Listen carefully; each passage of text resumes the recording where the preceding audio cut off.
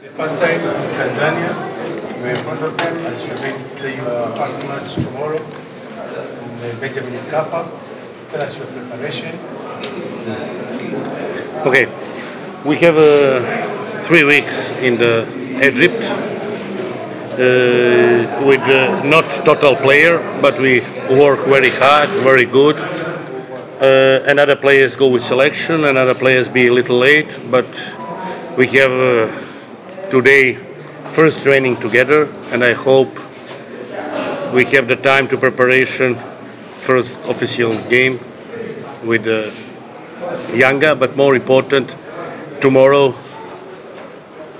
important game with our fans to play here in our stadium, and I think all players is ready, want to play, and I hope tomorrow we have very good game. Any question? Mazuri tukianzia mwanzo wa msimu ambao tulianzia Misri, tumejiandaa vizuri na mpaka leo tumemaliza mazoezi yetu salama. Wachezaji wote tukuwepo timamu kimwili. Uh, tunasubiri hapo kesho tuende tukaisherekee siku yetu, na tunaamini kwa mchezo wa kesho ndo tunafungua msimu.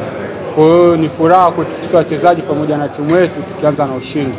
Kwa hiyo kikubwa tunaomba na Simba waweze kujitokeza kwa wingi kesho, kwanza kusherekea siku ya Simba na pia kufungua msimu kwa pamoja sisi kama timu.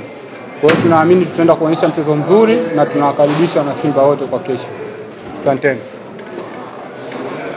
Msimu uliopita ni msimu uliopita, uh, tushasahau.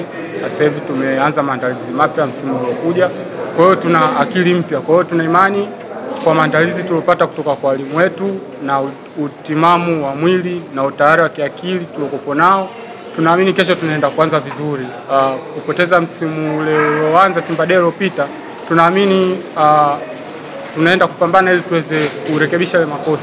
Kwa hiyo kikubwa kwa msimu tumejiandaa vizuri na tunaenda kucheza mchezo kwa tunajiamini kwa kuweza kufungua msimu vizuri kwa ushindi.